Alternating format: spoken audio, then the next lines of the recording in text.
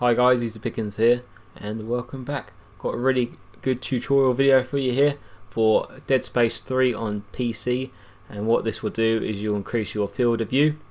So what you want to do is head towards my computer. First off you want to back out of the game completely and then you want to head towards uh, your C drive. Uh, if you haven't already done this step then uh, follow, if not then just skip forward a little bit.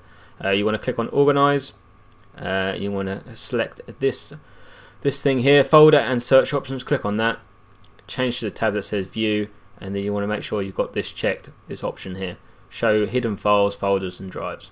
Apply that and OK it. Then what you want to do is head towards users, and then under your username, click on that, and then what you're looking for is a file called app data. Double click that, double click local, and then what you're looking for is EA games, and then you'll find the Dead Space 3 game in there and then you want to double click system.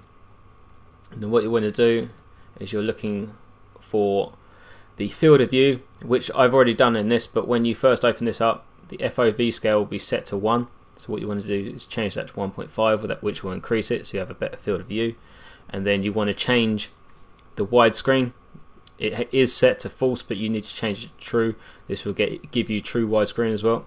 And that's it. So once you've done that you just back out of that and it will ask you to save it you save it and that is it simple as that so I hope you enjoy and I'll catch you later bye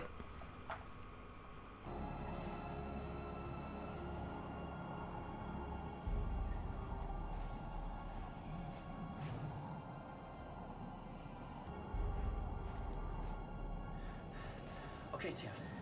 You can do this. Oh, he's dependent on you.